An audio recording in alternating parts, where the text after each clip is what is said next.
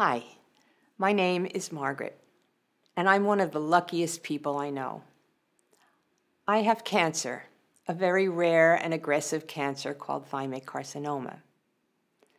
The doctors first discovered it a few days before Thanksgiving, and I was told I only had a couple of months to live. That was in 2008. It turns out they were wrong. I'm still here, but it was still scary. I had a tumor that was wrapped around my trachea. It wasn't operable, it was getting larger, and it was cutting off my breathing. And then I learned that it had metastasized to my left lung. I immediately went into intensive chemotherapy, followed by 35 days of radiation treatments, and that shrank the tumor in my neck. But nine months later, I learned the tumors were growing again in my lung. And I've been on and off chemo ever since. I've just started a new round of treatment, and I'm starting to lose my hair for the third time. I'm telling you all of this because through this experience, I've learned two things. First, that having cancer was one of the best things that ever happened to me. And I really mean that. This has been one of the happiest times in my life. I know that sounds hard to believe, but there's nothing like a life threatening illness to tear away a lot of the garbage in your life. It's been quite an adventure, and very often a time of deep peace that I didn't expect. I've also been reminded through this illness what an extraordinary daughter I have. And that's really why I wanted to talk with you today, because I don't know how many more chances I'll have to tell you about her. Her name is Laura Ruderman. You might know her as a candidate for Congress, or as a fellow parent, or as a friend. For me, she's always been my little girl, from the moment I first held her, to when I used to hold her hand, to now, when she holds mine. If you know Laura, you know that she never gives up. From the first day of my illness, she started organizing and researching my cancer.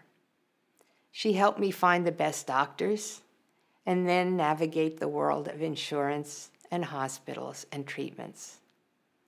It can be overwhelming, but not when you have a daughter like Laura. Laura can tell you a lot about cancer in just the last few years, her mother, her father, her sister, and two sisters in law have all battled cancer. One sister in law recently died of it. For Laura, this is a deeply personal issue. She knows that those in our family have been fortunate to have access to the best of care. And while sometimes even that isn't enough, the joy and ease with which I face life wouldn't be possible if I didn't have Medicare and supplemental insurance to cover the huge costs of my treatment. But it's not that way for millions of Americans. I can't imagine living with cancer and not having the money to pay the medical bills. But I know that many people face that. Laura knows that too. As a state representative, she was ahead of her time. In her first term in the legislature, she passed a law to help low income women get breast cancer treatment. She took on HMOs and their power to literally dictate life or death for a patient. And in Congress, she'll never stop fighting to protect President Obama's health care law, which prevents insurance companies from dropping your coverage if you get sick. That's something that protects all of us. Without health insurance, I could not have experienced this deep peace for myself during my dance with cancer. It's allowed me to slow down and appreciate every day. And slowing down is something that's precious in a world where everyone is moving faster and faster all the time. Laura has lived this with me every step of the way, and she's determined to make this good fortune available for everyone. If there's one last thing I could tell all of you, it's that the best thing you can do when you have cancer is to reach out to as many people as possible and to receive the love that comes flowing back. I am truly grateful for the time I've been given, I don't know how much longer I have left. When you're in this dance, you don't know when the music will end.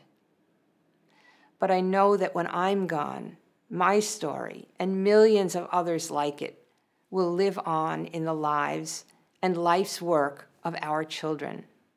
And for that, I am truly grateful. Thank you, and God bless you.